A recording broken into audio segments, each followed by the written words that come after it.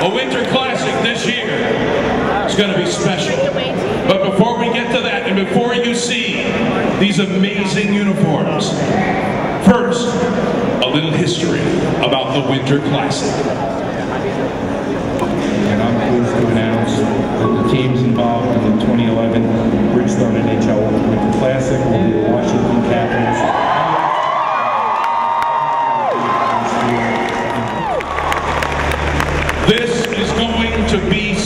special.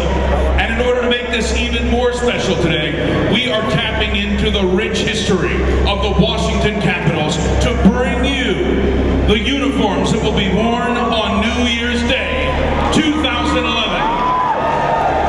On this stage, we're going to see the man who was the first to be immortalized on a banner at Verizon Center, number seven, Ike